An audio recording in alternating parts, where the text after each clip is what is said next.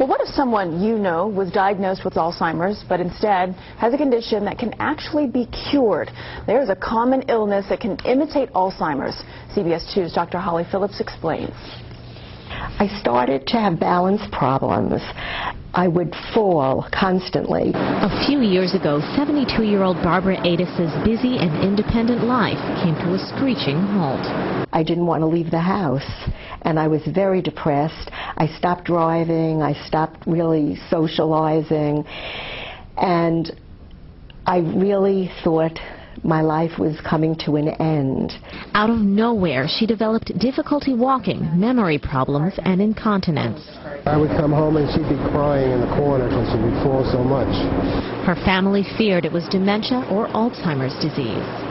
Well, I was very upset. I we didn't know what was going on with her. Months went by until an MRI proved she had a common and reversible illness called NPH. NPH, or normal pressure hydrocephalus, um, is a disorder where spinal fluid that's normally made in the brain is not being effectively handled by the brain. The spinal fluid builds up and puts pressure on the brain, causing the debilitating symptoms.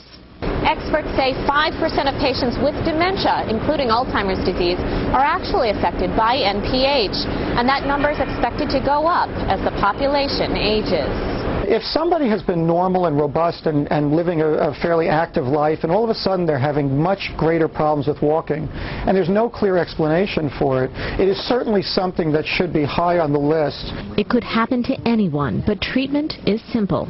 We put a little tube into the brain and that diverts the fluid down into the abdomen where there's plenty of space and ability for that fluid to be reabsorbed. I was in the hospital for five days.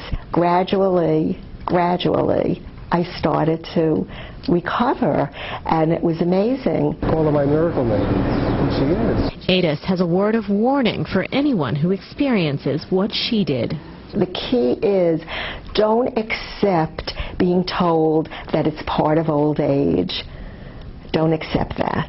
In most cases of NPH, no cause can be found, but the earlier it's diagnosed, the easier it is to cure.